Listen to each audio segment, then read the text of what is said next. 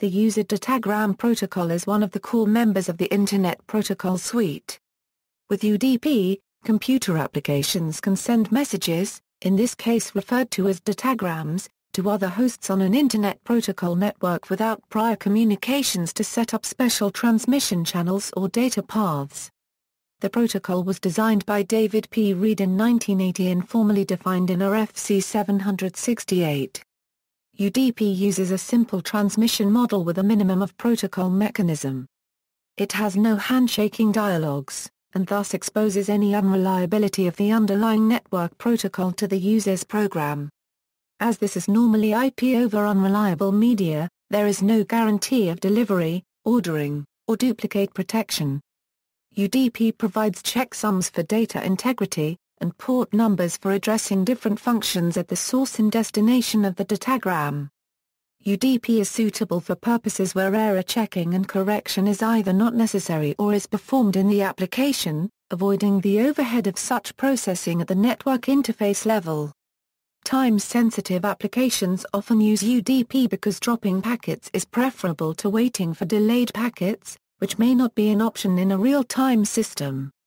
If error correction facilities are needed at the network interface level, an application may use the Transmission Control Protocol or Stream Control Transmission Protocol which are designed for this purpose.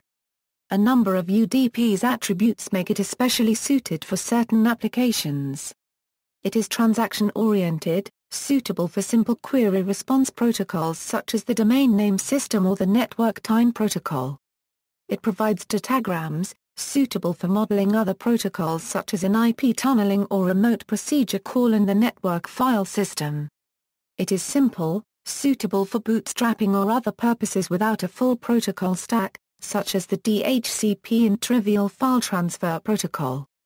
It is stateless, suitable for very large numbers of clients, such as in streaming media applications for example IPTV. The lack of retransmission delays makes it suitable for real-time applications such as voice over IP, online games, and many protocols built on top of the real-time streaming protocol.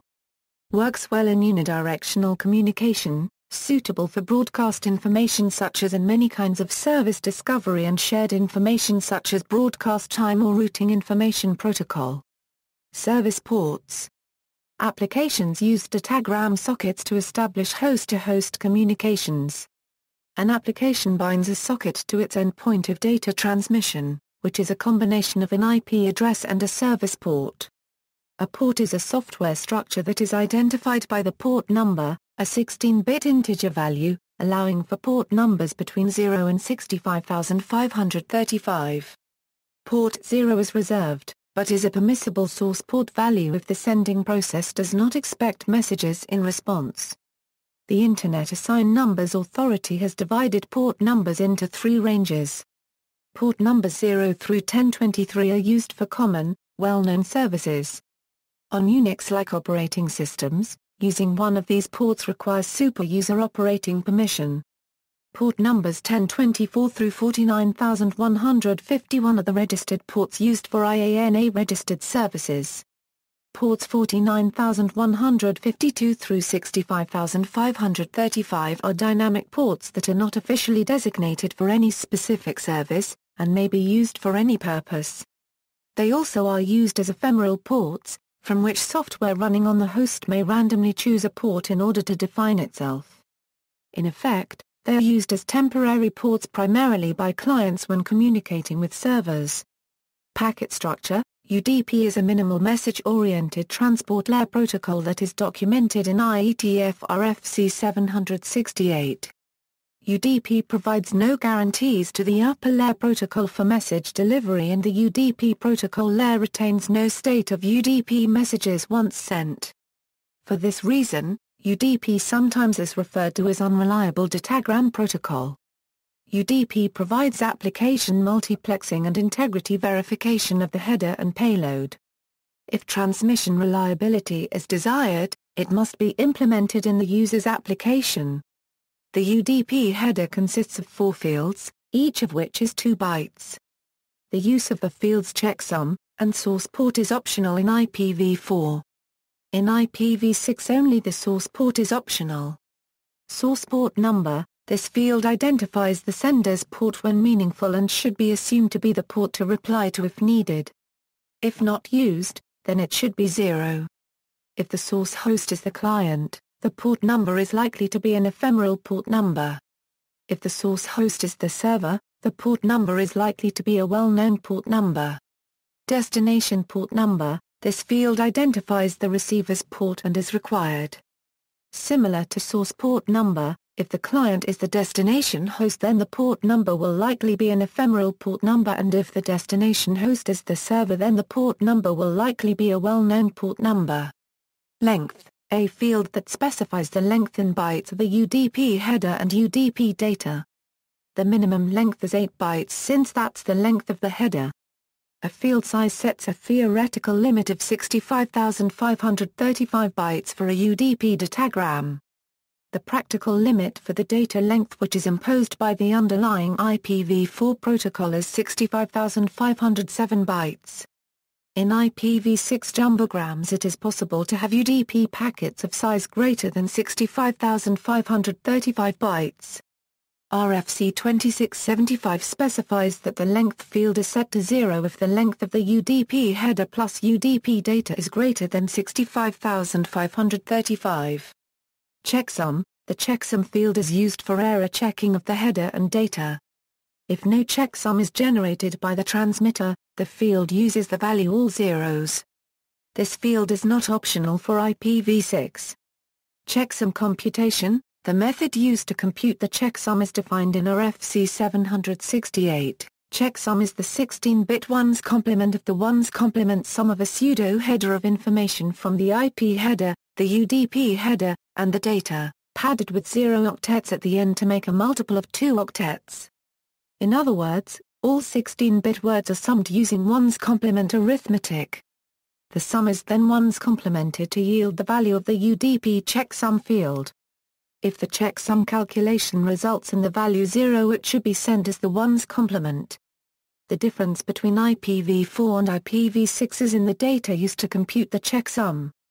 IPv4 pseudo-header, when UDP runs over IPv4, the checksum is computed using a pseudo-header that contains some of the same information from the real IPv4 header.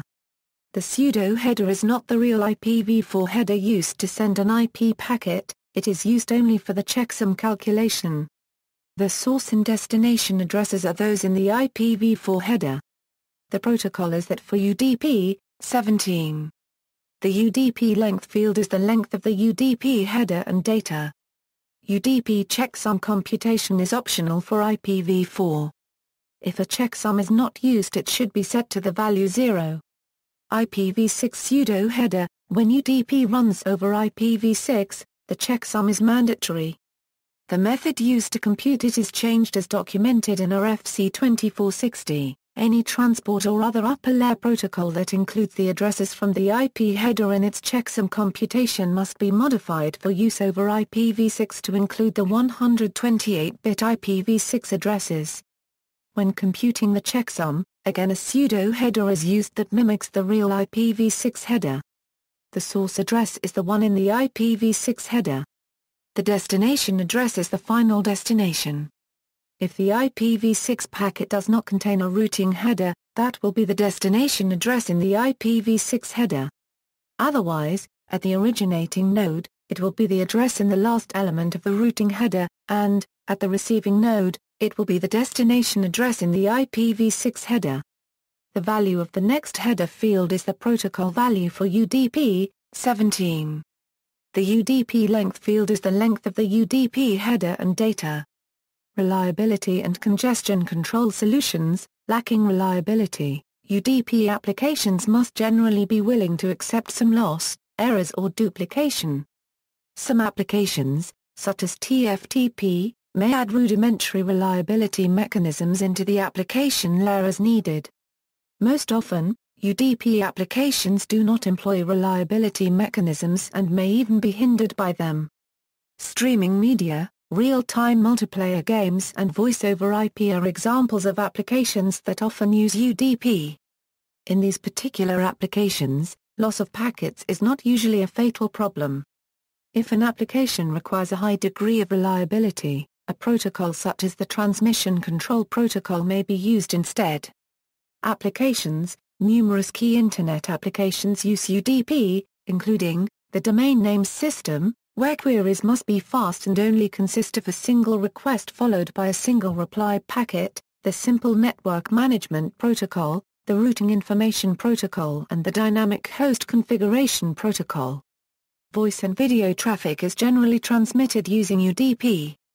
Real-time video and audio streaming protocols are designed to handle occasional lost packets, so only slight degradation in quality occurs, rather than large delays if lost packets were retransmitted.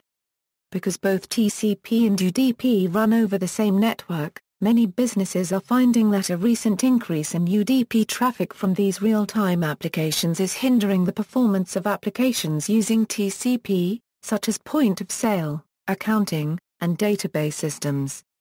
When TCP detects packet loss, it will throttle back its data rate usage.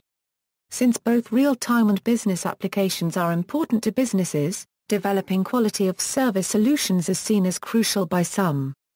Comparison of UDP and TCP Transmission Control Protocol is a connection-oriented protocol, which means that it requires handshaking to set up end-to-end -end communications. Once a connection is set up, user data may be sent bidirectionally over the connection.